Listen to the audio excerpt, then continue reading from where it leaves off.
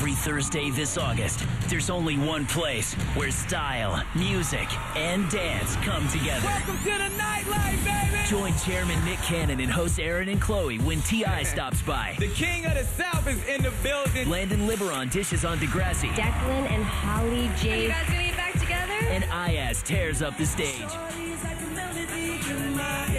The Nightlife. Thursday at 9.30 Eastern after an all-new Degrassi The Boiling Point.